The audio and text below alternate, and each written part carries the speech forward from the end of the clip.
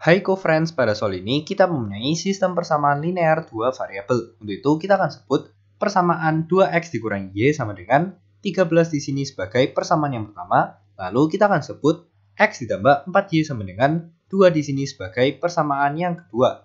Lalu karena kita diminta untuk menentukan nilai dari 3x ditambah dengan 4y dan kita diminta untuk menyelesaikan dengan menggunakan metode gabungan eliminasi dan juga substitusi, maka langkah pertama yang akan kita lakukan adalah melakukan eliminasi dengan cara mengurangi persamaan pertama yang kita punya dengan persamaan yang dua dikalikan dengan 2. Sehingga jika kita tuliskan persamaan yang pertama yaitu 2x dikurangi dengan y sama dengan 13, lalu kita kurangi dengan persamaan yang kedua dikalikan dengan 2 atau 2x ditambah dengan 8y akan sama dengan 4. Atau jika kita kurangi keduanya maka 2x dikurangi dengan 2x akan menjadi 0 Lalu minus Y dikurangi dengan 8Y akan menjadi minus 9Y akan sama dengan 13 dikurangi dengan 4 atau sama dengan 9.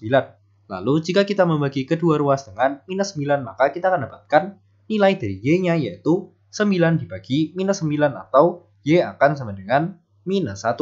Lalu setelah kita dapatkan nilai Y sama dengan minus 1 maka kita akan substitusikan ke dalam persamaan yang pertama yaitu 2 dikali X dikurangi dengan Y atau minus 1 akan sama dengan 13. Atau jika kita sederhanakan maka 2X ditambah dengan 1 akan sama dengan 13. Atau jika kita pindahkan plus 1 ke ruas belah kanan maka kita akan dapatkan 2X akan sama dengan 13 dikurangi 1 atau sama dengan 12.